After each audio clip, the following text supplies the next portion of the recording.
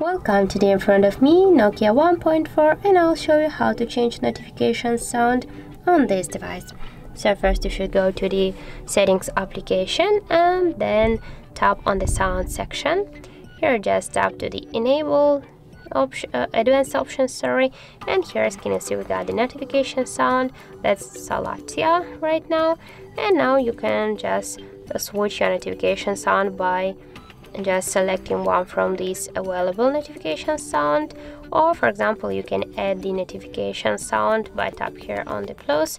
And if you got some music here on your device or from or just download it from the internet you can select one from these downloads.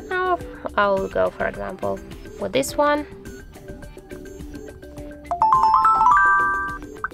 and now just just tap here to OK to save the changes and as can you see we just change our notification sound to the tones one.